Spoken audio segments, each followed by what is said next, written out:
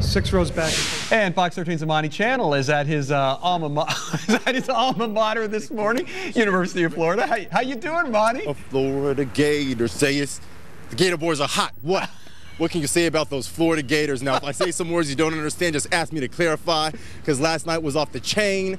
That means it was wild and outrageous out here on the streets of Gainesville. We're just going to take you to the video.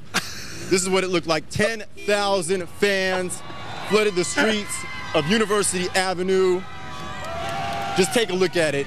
Everyone excited about the Gators' first ever national basketball championship, defeating UCLA.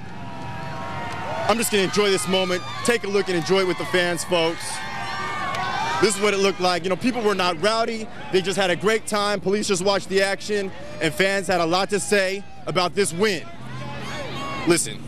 This is a huge win. We are awesome. This is a huge, huge win. How you feeling right now? Looks like you're going I am feeling amazing. I love the Gators. I love our school. Go Gators! Now, did you expect the Gators to win a football championship, basketball while you were here? What are you thinking right now? I expected football, but basketball surprised me, and I actually can't believe it because I, they actually they actually played so well. This is huge. This is unbelievable. We've been waiting for another championship for 10 years. When you come when you come to UF, you expect a national championship, and now we got it. What are you gonna say? What are you gonna say? We did it. They certainly did do it yesterday, defeating the 11-time champions UCLA Bruins. First time for the Gators. You can just see it was a wild time last night. Fans stayed out till about 2 o'clock. That's when police broke up the party. They say there were only six arrests. Most of those for open container for uh, having alcohol out. There was one person who hit a horse. That's what we hear. That one person was arrested and taken to jail. But check this out. It doesn't get any sweeter than this, folks. Champions. That's the headline today here in Gainesville. Now I'm going to put a call out to all my Gator Nation brethren. You know, I'm an alumni from alumnus from 1997. Was here in 1996 when they won the football national championship. this is great, folks.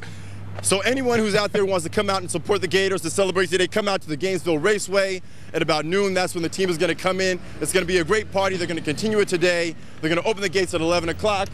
It's just great to be a Florida Gator. Just say it with me, guys. It's great to be a Florida Gator.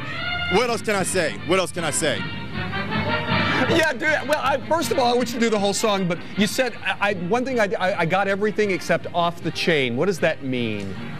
Off the chain just means it was wild. Just Okay, wild. off the I'm leash, just gonna explain it like that. Okay, I got it. Off the chain, off the hook, all the same. A great time out here in Gainesville. They're going to be partying all week long. I guarantee that, Russell. I think you are too. Thanks, buddy. We'll talk to you later on. Bye. Run on, man. All right.